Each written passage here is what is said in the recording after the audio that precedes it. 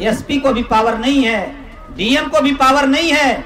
आज जिस मुकाम पे हम खड़े हैं डीजी को भी पावर नहीं है कि वो हमसे पूछे कि आपने भेजा है कि दोस्तों, उत्तर प्रदेश की राजनीति में गब्बर सिंह की एंट्री हो चुकी है। वही गब्बर सिंह जिन्होंने ठाकुर साहब को पानी पिला दिया था। आपने एक फ़िल्म देखी होगी, शोले, जहाँ पर गब्बर सिंह ने किस तरीके से ठाकुर साहब के छक्के छुड़ाए थे।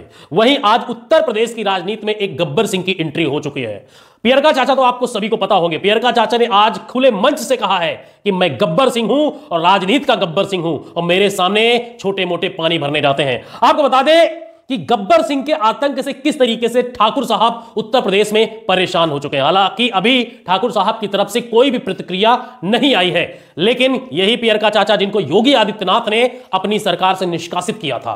किस तरीके से पूरे सात साल में योगी आदित्यनाथ से टकराने की किसी की हिम्मत नहीं हुई, चाहे कोई नेता हो या कोई मंत्री हो या कोई अधिकारी हो। हालाँकि दिल्ली दरबार और उत्तर यूपी दरबार में कभी पटरी नहीं खाई, लेकिन आज जिस तरीके से गब्बर सिंह ने योगी आदित्यनाथ को ललकारा है। वो कहीं ना कहीं संदेश कहीं और जाता है। हालाँकि योगी आदित्यनाथ गब्बर सिंह को मंत्री नहीं बनाना चाहते थे, लेकिन उनके ना चाहते हुए भी उन्हें मंत्रिमंडल का विस्तार करना पड़ा और उन्हें मंत्रिमंडल में शामिल करना पड़ा। लेकिन गब्बर सिंह ने ऐसा तांडव मचाना शुरू किया कि इसकी गूंज यूपी से लेकर दिल्ली तक पहुँच चुकी है। चारों तरफ़ हाहाकार मच चुका है। खुलेआम गब्बर सिंह चुनौती दे रहे हैं और कह रहे हैं आपको, लेकिन यह भी समझना चाहिए कि सात साल के कार्यकाल में योगी आदित्यनाथ से टकराने की किसी की हिम्मत नहीं हुई। योगी और मोदी के बीच में जब भी टकराहट हुई या योगी और अमित शाह के बीच में जब भी टकराहट हुई तो योगी आदित्यनाथ के समर्थक, चाहे वो जनता हो या सरकारी महकमे के लोग हो, जो योगी आदित्यनाथ का सपोर्ट करते हैं, वो सोशल मीडिया से लेकर हर प्लेटफॉर्म पर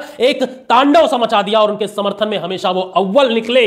लेकिन अब ऐसा लग रहा है कि योगी आदित्यनाथ से मोदी, अमित शाह को तो छोड़ो, वो तो पीछे रह जाएँगे। अब तो मोदी, योगी पीछे पर्दे से खेल करेंगे और उनके आगे, उनसे भिड़ने के लिए पियर का चाचा दिल्ली दरबार की चाबी से उत्तर प्रदेश में कुंटी मार चुके हैं और तांडव करना शुरू कर चुके हैं। आपको बता दें कि दिल्ली दरबार कभी भी डायरेक्ट योगी आदित्यनाथ से नहीं टकराया।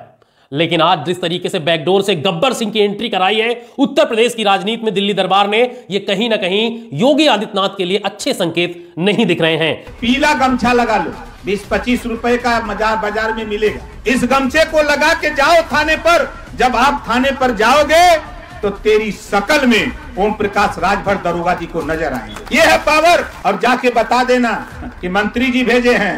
और दरोगा जी के पावर तो हो नहीं कि मंत्री जी से फ़ोन करें कि भेजे लेगा कि नहीं। बोलिए है पावर।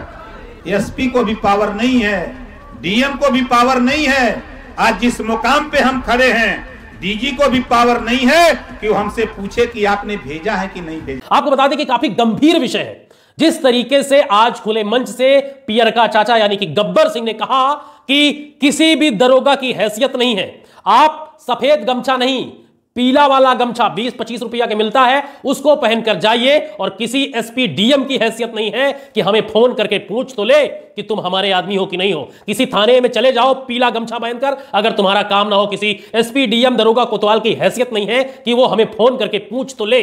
तो सोचिए कि किस तरीके से वही उत्तर प्रदेश जहाँ पर योगी आदित्यनाथ के लोग कहते हैं कि बहुत बड़ा कानून का शासन चलता है। किसी मंत्री की हैसियत नहीं होती, किसी अधिकारी की हैसियत नहीं होती, लेकिन आज जिस तरीके से गब्बर सिंह की एंट्री उत्तर प्रदेश की राजनीति में और जिस तरीके से पूर्वांचल में उन्होंने हुंकार भरी और उन्होंने कहा, मुझे मंत्री नहीं, मुख्यमंत्री बनना है। तो ये कहीं ना कहीं, योगी, ये एसपीडीएम के लिए संकेत नहीं थे। जिस तरीके से खुली चुनौती दे रहे थे पियरका चाचा, एसपीडीएम का मतलब होता है उत्तर प्रदेश में योगी आदित्यनाथ। जिस तरीके से सरकारी महकमे के लोग जो चाहते थे योगी आदित्यनाथ से करवाते थे। और आज उन्हीं एसपीडीएम को पियरका चाचा कह रहे हैं, डायरेक्ट धमकी दे रहे हैं तो ये डायरेक्ट धमकी एसपीडीएम को तो नहीं है, ये डायरेक्ट धमकी योगी आदित्यनाथ को है। तो क्या पियरका चाचा ऐसे ही डायरेक्ट योगी आदित्यनाथ से भिड़ने चले आए? या फिर उनके पीछे कोई ना कोई तो है? क्योंकि जिस तरीके से उन्होंने खुले मंच से कहा कि मेरी बात डायरेक्ट दिल्ली से होती है और दिल्ली दरबार से हमारा पूरा सपोर्ट है तो अब उत्तर प्रदेश की राजनीति में अभी राजभर को मंत्री बने हुए 45 24 45 घंटे भी नहीं हुए। कि गब्बर सिंह की एंट्री दिखना शुरू हो गई भौकाल मचा दिया है और कहा कि किसी से डरने की ज़रूरत नहीं है। हम मंत्री नहीं, मुख्यमंत्री हैं, दूसरे नंबर के मंत्री हैं। और हमारी बात डायरेक्ट दिल्ली दरबार से होती है, योगी आदित्यनाथ अमित शाह से होती है, मोदी से होती है। तो क्या दिल्ली दरबार ने एक और अपना सीपे सलार योगी आदित्यनाथ के पीछे लगा दिया है यूपी की राजनीति को आगे बढ़ाने के लिए? फ़िलहाल आप लोग क्या सोचते हैं पियर का चाचा के इस बयान पर और गब्बर सिंह की नई एंट्री पर कमेंट पर भी ज़रूर दीजिए।